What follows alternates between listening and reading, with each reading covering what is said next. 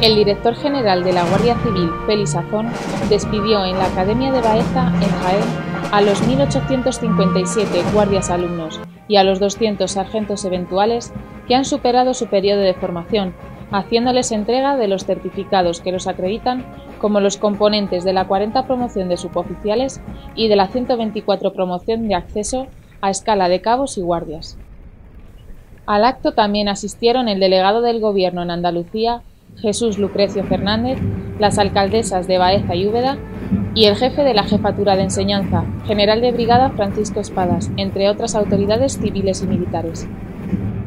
En atención a los méritos y circunstancias que concurren en el sargento don David Fernández Fernández, se procede a imponer la Cruz de la Orden del Mérito de la Guardia Civil, con distintivo blanco, por distinguirse en su aplicación, conducta y entusiasmo. En atención a los méritos y circunstancias que concurren en el Guardia Civil, don Daniel Sass Amez, se procede a imponer la Cruz de la Orden del Mérito de la Guardia Civil.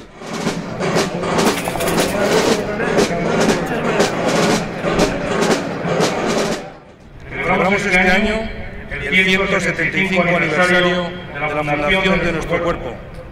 Después de estos 175 años de existencia, la Guardia Civil constituye uno de los patrimonios más queridos y estrechamente vinculados al pueblo español. Entrar en esta, en esta esplanada impresiona, pero a mí me emociona. Ver como dos mil personas acabáis de recibir el reconocimiento para incorporaros a la prestación tan digna que es garantizar la libertad y la seguridad de toda la ciudadanía española, a mí me emociona.